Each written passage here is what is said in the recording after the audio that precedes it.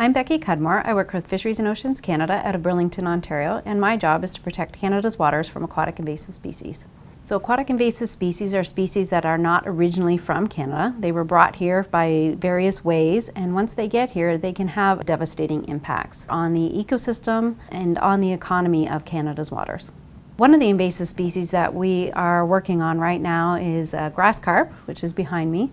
It's one of the Asian carp species and currently threatens the Great Lakes aquatic ecosystems by uh, potentially destroying wetlands. So I've been working on the science, looking at the risks that aquatic invasive species poses to the, to the Canadian aquatic environment, and now I've moved more into taking that science and those tools and implementing them on the ground.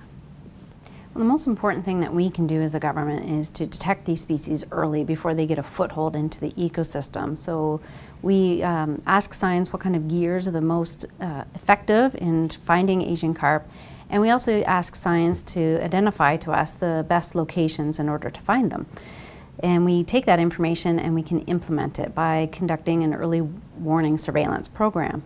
So we know what Rivers are most at risk and we know the best gears to find them if they're out there. So you can see that the science that's being used is implemented in order to find these species quickly and remove them from the system as soon as possible.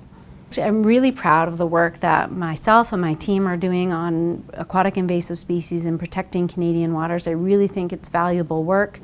Uh, it's very interesting work and I think we do a great job.